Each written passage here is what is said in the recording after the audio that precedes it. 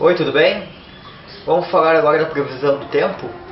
Então, uh, eu não trago notícias tão boas, porque os modelos meteorológicos estão sinalizando que o fim do mês de outubro e início de novembro deve ser bastante instável no Rio Grande do Sul. O último uh, fim de semana de outubro, agora sábado, vai ser ainda de tempo bom em grande parte do Rio Grande do Sul, com certo aquecimento, mas não faz calor aí nas regiões mais quentes do estado, uh, passando um pouco aí dos 30 graus, tá bom? Agora que vem a situação complicada. No, na madrugada de domingo, a partir da madrugada de domingo, áreas de instabilidades avançam para o, a região de fronteira do Rio Grande do Sul e aí causando aí risco de temporais, pegando primeiramente aí a região de fronteira, como eu falei, campanha e oeste do estado, e no decorrer do domingo se espalhando para as demais regiões. Então, risco de temporais em qualquer cidade do estado.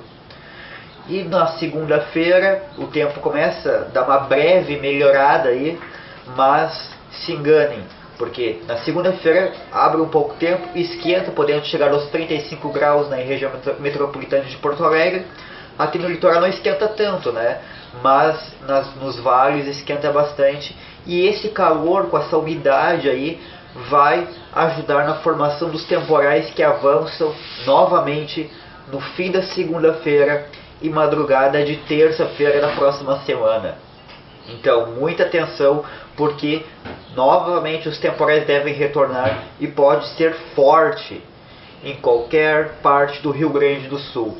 Desde da fronteira, campanha, sul, oeste, passando pelo centro, até mesmo aqui na região metropolitana, litoral, serra, planalto médio e noroeste. Então preste muita atenção, porque vamos ter uma transição aí, porque estamos na primavera. Então é normal ter esses temporais aí.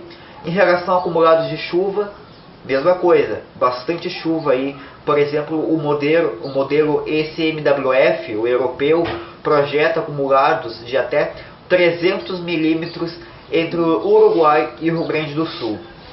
O GFS, que é o modelo uh, americano, projeta aí 200 milímetros aí em grande parte do interior do Rio Grande do Sul. Acompanhe-nos aqui na rede social Tendência para mais informações do tempo. Até a próxima!